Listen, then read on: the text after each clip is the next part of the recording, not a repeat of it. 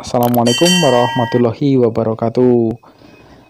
Toko Nur Sembako ya kali ini refreshing sejenak ya.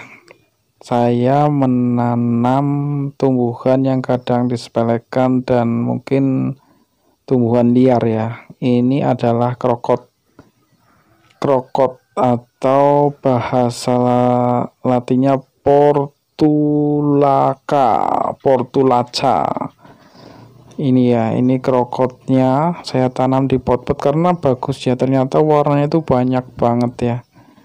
Saya membelinya di Shopee per batangnya kurang lebih sekitar 100 sampai 500 tergantung uh, tergantung jenisnya gitu. Tapi kalau paketan yang 25.000 dapat 220 stekan terus 20 batang. Nih saya uh, taruh di pot gantung.